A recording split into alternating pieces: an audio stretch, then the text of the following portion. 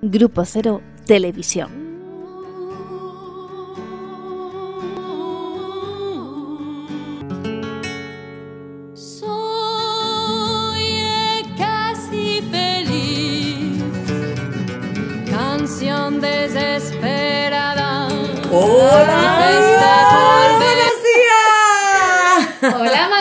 Salamanca. Buenos días, Virginia Valdominos. ¿Qué ¿Cómo tal? estás? ¿Cómo estáis todos ustedes, amigos de Facebook y amigos que vais a ver después esto en diferido en YouTube? Bienvenidos un día más a un taller de psicoanálisis gratuito para todos de psicología del día a día. Y aquí estamos finales del mes de junio, ya a las puertas de ese verano tan deseado y tan ansiado. Y hoy les vamos a hablar de un tema que nos toca a todos, Sí. absolutamente a todos. Tema fundamental y súper importante que es lo inconsciente. Claro, porque siempre hablamos del inconsciente, siempre decimos un montón de cuestiones del inconsciente, pero hoy vamos a intentar eh, introducirnos dentro un poco de la teoría psicoanalítica y eh, hablar de qué trata este inconsciente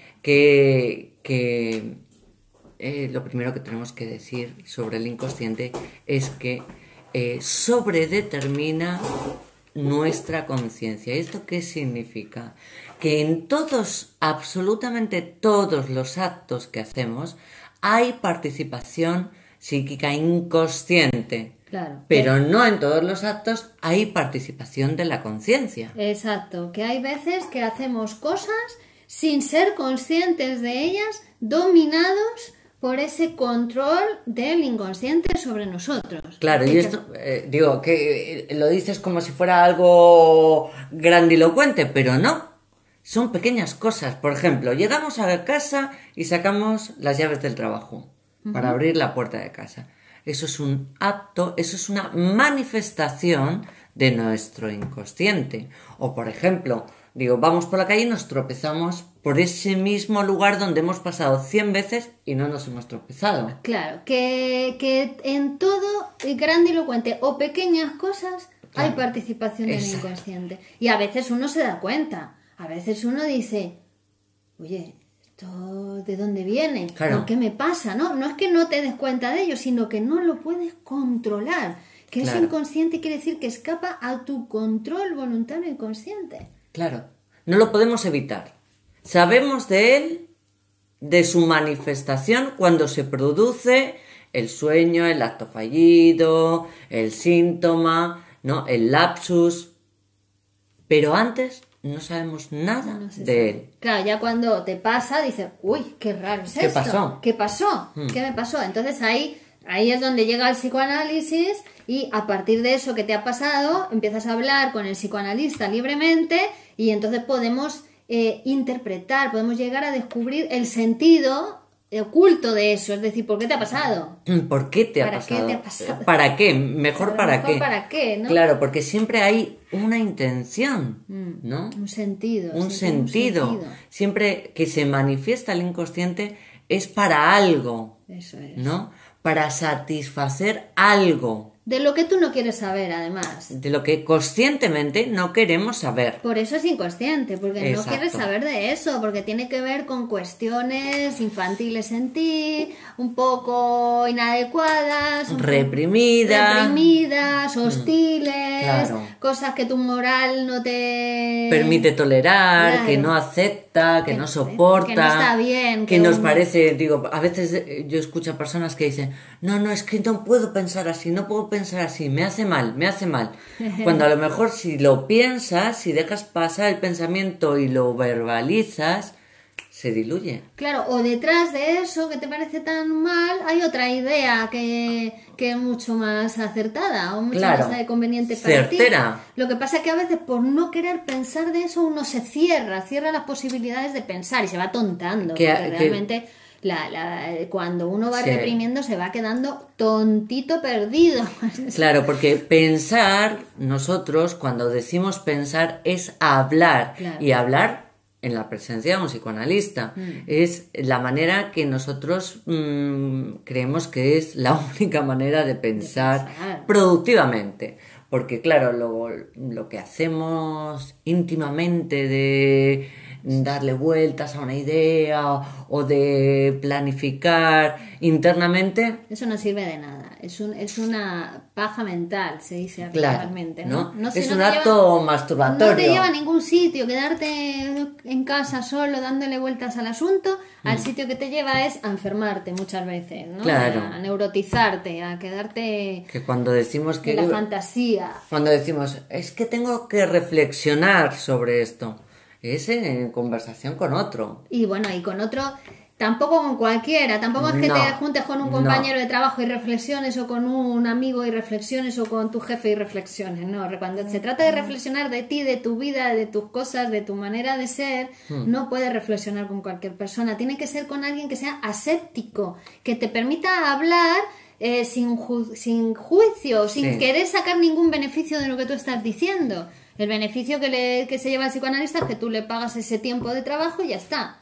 Y se olvida de eso. No El resto del beneficio es todo para ti. Todo para ti, claro. Te lo llevas, ¿no? Porque el pago hace que te lo Que lleves. te lo puedes llevar. Claro, el pago tiene muy importante, tiene una cuestión como simbólicamente, Sí, ¿no? sí. Eh, Sobre todo en nuestras sociedades. Cuando no pagas algo parece que lo robas. Entonces ya no te hace bien, ya te vas con culpa. hay idea de que si es barato es peor que si es caro. Claro. También, ¿no? Digo que, que, que el pago es muy importante. Es algo que mucha gente lo nota como algo agresivo, pero porque es eh, tiene que ver, esa agresión tiene que ver con él. Claro, porque todavía no está en el sistema capitalista, todavía Claro. no ha llegado al mundo. O en el nivel simbólico. O en el nivel simbólico. Que es un acceso súper importante que todos y cada uno de nosotros tenemos que conquistar. ¿no? Claro, porque en el nivel en el nivel simbol en el mundo el dinero es un sí, Equivalente. es un equivalente Universal. Claro, universal que puede ser intercambiable por cualquier mercancía, pero en el inconsciente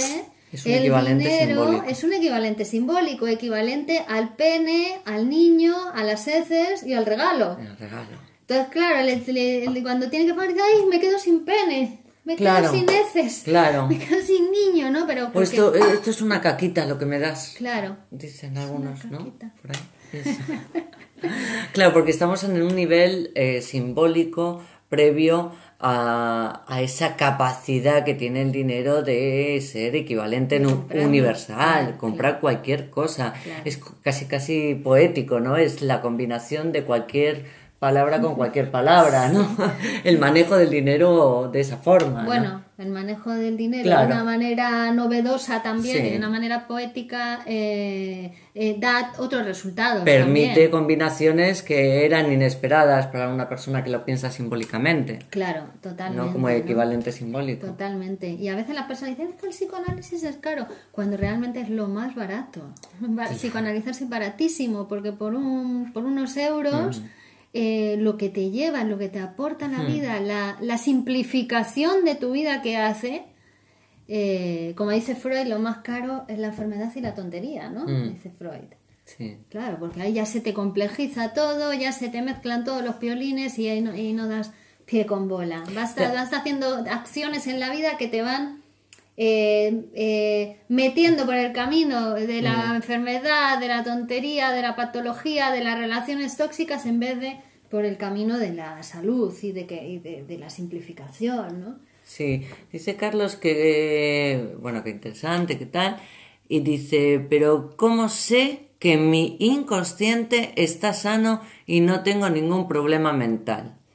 El inconsciente está sano. Sí, lo que no está sano eres tú. ¿no? El inconsciente es sano, entonces es el sujeto psíquico El que se el revela. se revela contra el inconsciente. El inconsciente es la, la pulsión, está la pulsión. Es el motor de la vida. Es el motor de la vida, bueno, ¿No? Pero claro, el sujeto No tolera. no tolera, Se no tolera, pelea. se reprime, ¿no? Eh, a veces es, no reniega. Mm. es la moral de uno, o es, eh, o es eh, todo lo contrario, la, la, la- la perversión, o es, eh, Claro. o es un yo excesivamente eh, Claro, si, fuerte, si hay aceptación de, de la ley, ¿no? Que Claro. es lo importante, eh, el inconsciente funciona perfecto porque se reprimen lo que se tiene que reprimir y queda en la conciencia lo que tiene que quedarse en la conciencia. El problema es que cuando eh, esta operación no se hace em, del todo completamente o, o con fisuras, Claro. el inconsciente quiere manifestarse. O sea, todo el aparato se articula en torno a esa, a esa deficiencia, digamos, a Claro, esa, exacto. a esa fisura, A esa fisura, a esa exacto. falta de asumir Sí. algunas eh, la ley o algunas cuestiones. Entonces Claro. todo se articula, todo se, se, Sí. se, se arregla conforme a eso y entonces, claro, ahí el sujeto cojea, ¿no? Claro. el- el- con el- se, manifiesta Sí. ese síntoma, se repite. Claro, eh, si uno acepta que como mamá no, ahí vamos bien encaminados. Claro. Claro, el psicoanálisis lo que permite es conocerse, ver, ¿no? Conocerte y transformarte, ver de Claro. qué cojeas y ir cambiando eso, ¿no? Para, para andar con los dos pies. No solo los dos pies, sino utilizar los dos brazos, las dos manos, todos tus recursos psíquicos, todos Mm. tus recursos sociales, todos tus recursos, eh, todo, ¿no? Porque está ahí, está ahí para que, que lo podamos utilizar. Esa me- ese, ce- ese cerebro que decimos que se despierta Mm. con el psicoanálisis, ese cerebro, ese segundo cerebro, Mm. que es ponerlo inconsciente a- jugando a tu favor. Claro, en la misma liga que tú, ¿no? ¿No? Generando o, eh, cosas que, que no te lleven a la enfermedad, que te lleven, lo que hemos dicho, a la sublimación, a la producción, ¿no? Al desarrollo, a- al Claro, crecimiento. Porque también el inconsciente es el que participa cuando escribimos un poema, Claro. cuando cantas una canción, Cuando tienes un amor maravilloso, Cuando cuando, tienes una eliges una mujer maravillosa, Claro. cuando eliges un hombre maravilloso, cuando, ¿no? cuando te va las ahí también comanda el inconsciente. Que ¿no? maravilloso no quiere decir que sea el más guapo y el No, más no que sé te qué. va bien a ti, Claro, te, te va bien, se adapta te- a ti, te hace bien, ¿no? Claro, que, que- que para cada persona eh, no existen cosas buenas para todo el mundo No, no existe, ni el bueno ni malo. No existe, no. Eso es moral, eso es un juicio Claro. moral. Ahí es donde se estropean las cosas. Cuando ya empiezo a querer que esto sea bueno o esto sea malo, o me ha- no, no, ahí ya desvirtuamos lo que es eh, el, eh, la- la- el funcionamiento normal del aparato psíquico. Claro, porque es una construcción específica para Sí. cada persona, su, su inconsciente, es el inconsciente de fulano de tal, Ya. es la, su historia de deseos y eso, no hay dos personas iguales. Entonces, dos son historias de deseos, cada uno tiene historias de deseos distintas. Claro. Y eso se va construyendo en el psicoanálisis de cada uno, ¿no? Mm. Entonces ahí ves, ¿no? Cómo has ido deseando a lo largo de la vida, cómo esa manera de desear te ha llevado, Mm. bueno, pues en el mejor de los casos, a tumbarte a- en el diván de un psicoanalista. Claro, porque te puede llevar a la tumba también. ¿eh? Sí, o a la cárcel, o al Oh. manicomio, o a, ¿no? A cada uno le lleva a lugares diferentes. Sí, o a un, a- o a un matrimonio desdichado, o a una, situación, física. o a una situación económica precaria siempre. Claro. Hay muchas vías, hay Claro. muchas vías. Pero ahí también está interviniendo. es en todo momento. Claro, to- eh, cuando decimos todas estas vías que no son del todo productivas o saludables para uno, lo bueno que tiene el psicoanálisis es que cuando interviene modifica, transforma. Claro. ¿Vale? Y yo en la realidad, al transformarme psíquicamente, produzco otras cosas. Claro, porque trabaja sobre la realidad psíquica del sujeto. Claro. Trabaja sobre la mente de ese sujeto, pero a medida que su mente se va transformando, su sus procesos mentales, va cambiando también su manera de relacionarse con el mundo, va cambiando su manera de relacionarse con las personas. Y una cosa muy importante, muy importante, el inconsciente no tiene tiempo. ¿Y esto qué significa? Que cualquier momento, a cualquier edad, siendo de, de cualquier sexo, el psicoanálisis es 100% efectivo. Eso es muy importante, ¿no? Porque en, en el inconsciente se mezclan todos los tiempos de tu Claro, vida. No solo de tu vida, eh, cuidado, sino de la herencia filogenética de etapas anteriores del ser Claro, humano. Sí, sí. ¿No? Que cuando decimos que a veces uno es, un hombre primitivo es ver- es verdaderamente porque Lo es. lo es. Claro. ¿No? Regresó a esa etapa infantil donde uno es un ser primitivo, Claro. que no puede valerse por sí mismo, que depende, que no sabe hablar, que no que sabe agrede, ¿no? que agrede, que muerde en vez de, en vez de en vez de hablar, ¿no? Utiliza la la boca. Es que se dan, veis, cualquier tipo de, de, de- de- si pensáis en los casos que existen a vuestro alrededor, eh, bueno, pero todos ellos están sobredeterminados por lo inconsciente. Claro. Es lo que queremos decir. Que el inconsciente luego cada uno es, mejor dicho, cómo se, va, cómo se posiciona frente a ese conflicto que se da entre lo inconsciente y lo consciente, cómo resuelve cada uno esa ese conflicto que le lleva por un camino, que le lleva por otro, por ejemplo, el camino de las adicciones, el Claro. camino de... ¿no? de Porque uno tiene una idea de cómo resolver. Y el psicoanálisis lo que hace es intervenir so- sobre la idea con otra idea. ¿No? Te trae la interpretación. Te trae una Te interpretación. trae una visión diferente, una mirada diferente sobre lo mismo. Eso es, una lectura distinta. Una lectura distinta, sí. Claro, porque incorpora lo inconsciente. Y que normalmente uno cuando piensa en la vida, como lo, todo lo inconsciente está reprimido y ni lo ve, Claro. pues es como si su otro yo estuviera, en la, estuviera oculto. Hay un, un- un otro yo, ¿no? Un otro, bueno, no solamente un otro yo, hay un inconsciente que es otro, Es otro. totalmente diferente. Es un ser diferente a uno, porque por eso a veces nos sentimos como extraños con nosotros mismos, porque dice, ay, esto mm, no lo he hecho yo. Bueno, y eso es lo normal, que las cosas buenas que uno ha- hace no las hace uno. Claro, las porque hace su inconsciente. Eso, eso nos pasa. Ah, esto lo hice mal, no lo he hecho yo. Lo he hecho, eh, lo he hecho bien, lo Lo hice he- yo. lo he hecho yo. O al revés, también hay personas. Somos narcisistas. Al revés, Eh, somos- hay gente. eh, claro, el narcisismo está siempre presente. El Siempre narcisismo del yo. El yo quiere hacerlo todo. Claro, Y- lo bueno y lo malo. y no que es el mejor de los peores. Claro, y no acepta que quien lo hace es el inconsciente. Claro, claro, claro. Que trabaja para nosotros, que el inconsciente trabaja las 24 horas del día, los 365 días del año. Incluso cuando dormimos, ¿no? Claro. Está haciendo sueños. Trabaja, trabaja, trabaja para mantener la llama de la vida viva. Claro, porque cuando dejamos de desear, es decir, cuando se apaga, se apaga ese motor del inconsciente, del deseo, ahí morimos. Ya está, se apagó la luz. El ser humano muere cuando deja de desear. Claro. Y no hay nada después, ¿eh? ¿No? Digo, no hay... Psíquicamente hablando, digo, el aparato, chao, funde. Funda Bueno, negro. funde el cuerpo, que es el, el- el- claro. Claro. porque estamos unidos a un cuerpo, ¿no? Claro, el exactamente. escenario, se acaba, pues se, acaba el juego, ¿no? Claro. Digo que, que, que vivir con plenitud es algo que solamente pueden vivir los seres humanos hablantes, ¿no? Claro, eso es importantísimo, porque quien no habla no puede vivir la vida con plenitud. No. Mm, Y hablar, insistimos, tampoco no es hablar con el vecino, hablar, sino es tener, ir construyendo tu historia. Sí. Hablar sobre ti, sobre tu historia, sobre las cosas que te pasan, que te han pasado, que deseas, que ponerle palabras Mm. Hacerlo a tu tú, vida. ¿no? Porque, Hacerlo mira, te- tenemos dos tendencias.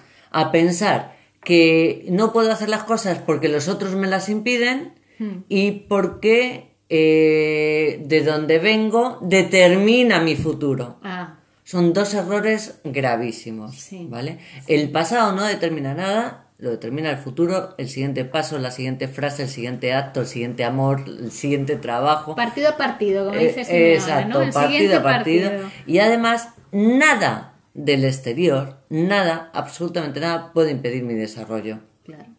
Soy yo quien utiliza las circunstancias externas Para- para, negarme ese desarrollo, ese crecimiento, esa vía, que no hace falta ni que sea un desarrollo o un crecimiento, ese avance. No, ese- lo que sea, ¿no? Pero que siempre Claro. es uno la utilización que hace. Por ejemplo, te enfermaste.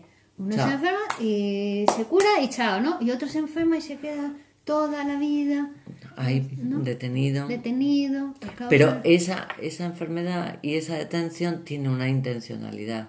Y eso es lo que descubre el psicoanálisis en un tratamiento psicoanalítico. Claro. Y lo descubre no porque lo sepa, porque el paciente se lo dice. Claro, Es escuchando, descubrimos lo que le pasa. claro, porque el paciente sabe. O sea, Sabe, todos hay un saber no sabido. Es, el inconsciente es un saber no sabido que habita en nosotros. es. De hecho, cuando llega la interpretación, después de la asociación libre y ese trabajo, uno dice, es como si siempre lo hubiera sabido. Claro, te dicen, ah, pero si eso ya... Yo ya lo sabía. Claro. Yo ya lo sabía. Sí, pero no. Pero no me daba cuenta. No me daba cuenta. No le podía poner palabras. Claro, no decir. tenía, mi, no tenía mi pulsión puesta ahí, mi libido puesta ahí, ¿no? La tenía en otro lugar, la tenía en, en el lugar de verme. Claro. Verme. No, en el lugar de la depresión, por ejemplo, ¿no? Claro, claro. Que sería la identificación con el objeto Claro. perdido y, macha- y todo el día la guerra con el objeto Claro, perdido, ¿no? claro. Está como, como desplazada la energía Sí. psíquica puesta en otro lugar, pero que también en ese lugar donde se pone la energía psíquica hay una satisfacción sustitutiva, si no el sujeto no se queda ahí fijado, quiere decir que se queda fijado ahí en el síntoma también porque hay un goce, ha encontrado una manera de gozar que no es la normal o la saludable, pero bueno, le da una satisfacción sustitutiva. Claro.